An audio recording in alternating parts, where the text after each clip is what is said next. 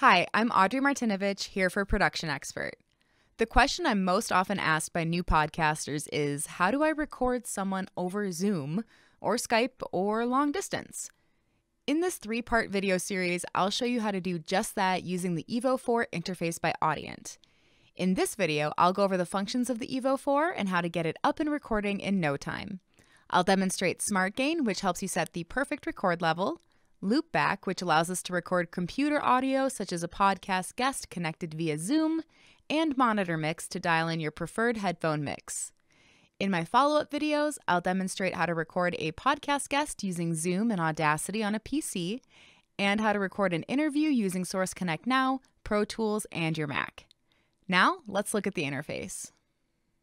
On the back, we have two combination XLR quarter inch inputs, quarter inch outputs to speakers, and USB. On the front, there's the Hi-Z instrument input and headphone output. When headphones are plugged in, it cuts the signal to the speakers.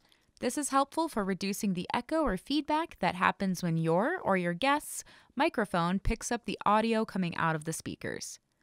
On top of the Evo 4, we have phantom power, input selection buttons, the smart gain button, volume knob, output volume, and monitor mix button.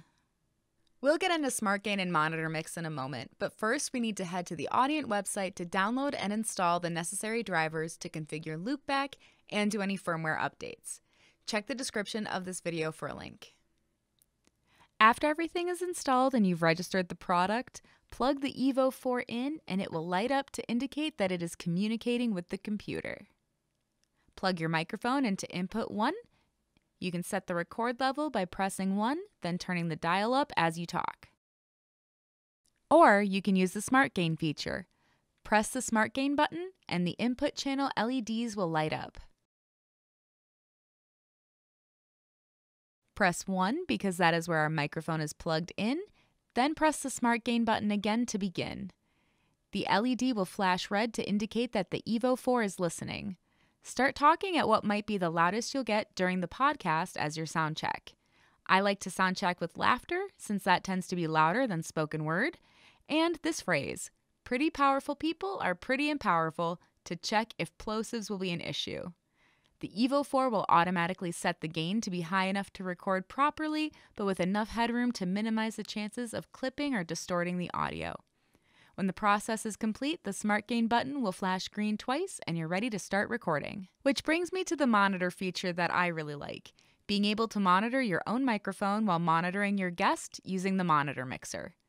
Pressing the monitor mix button and turning the dial all the way to the left will allow you to monitor your inputs only, and turning the dial all the way to the right allows you to monitor the outputs only.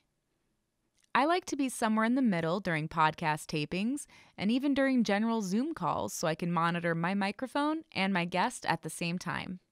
Now you're ready to use the Evo 4 by Audient. Priced at $129, this interface packs a lot of cool functionality like loopback and smart gain into a small interface with great sound. For most at home studio applications such as podcasting or streaming to Twitch, the two channel Evo 4 is plenty to get you by. But they do have a bigger 4 in, 4 out available, the Evo 8, which could be great for small bands who want to do some live streaming. Be sure to check out my follow up videos to learn how to use Loopback for podcasting. Until next time, I'm Audrey Martinovich here for Production Expert.